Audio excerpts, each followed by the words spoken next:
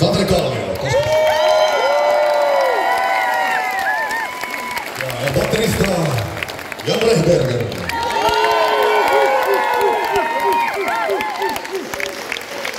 Ja täällä alavaa alatajuksen auravarma oli Pekka Laine. Ja siellä hän onkin Tomi Koivusaari. Oiksen ja te olette Itariston vitokovan yleisö. Kiitos oikein paljon! Me jatketaan seuraavaksi kappaleella, joka tiivistää Amorphisen aika hyvin. Vanha biisi nimeltään Black Witch.